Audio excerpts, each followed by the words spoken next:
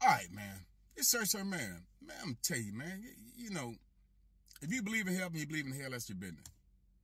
But there are some evil people in the world. So there are some evil people in the world. There are some good people. This place in Houston, man, this guy portrayed as a damn um, mortuary and then a funeral director. And then he told everybody that the church that they had the funerals in that he was on the staff. But first of all, the pastor never met this guy. And he was getting people having to come to view the bodies. One body was bloated up. And he said, well, we got to save it. We got to save it. Make a long story short, man, he's getting everybody insurance money and then depositing to his account, forging accounts. And he done over 50 families. And a lot of the families, members were cremated.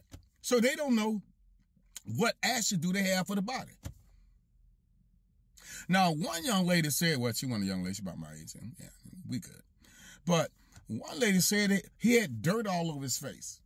And they wouldn't even view the body. And say when they went to view the body, stank so bad, it was ridiculous. She ran out. And they said this guy was smooth now. He's real smooth. I'm talking about he should be a politician. He was so smooth. He said, look, he, he would make videos of other funerals and say he done it. Or make videos, uh, I mean, have uh, obituaries and pass them out like he done the funeral. And it was all a lie.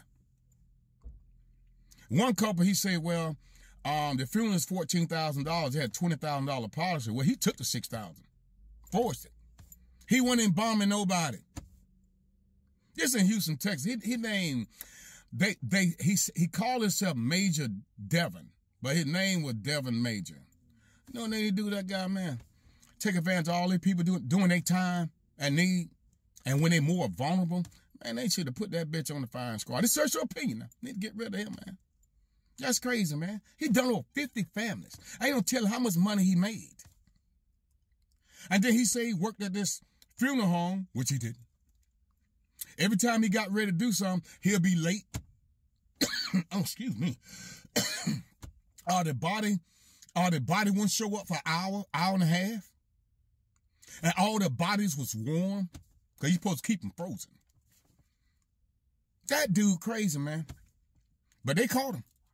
They called him. And when the police trying to get to him, he said he got to do this, he got to do that. He'll turn himself in, all that stuff. That man, tell you, I need to hang his ass, man. That's crazy. Took advantage of all these people. And they think there are more families out there. It's in Houston. Pull it up, man. PB supposed to bury it, he didn't bury it. And PB didn't bury it, he did bury. But didn't have a funeral. That's crazy, man. What the hell going on with these people? So you believe in heaven and hell, there are some evil people out there, man. They really are. I'm just saying. Like I say, man, SirSir 58, YouTube, TikTok, all that stuff there, man. Like I say, man, go to TikTok and subscribe on YouTube and see all my stuff, man. Because these other medias won't show all that I have to say. But that's crazy in Houston, man. Took advantage of all them people to my thousands of dollars, man. He was smooth. Real smooth. I hope they don't be smooth on his ass. SirSir Network out.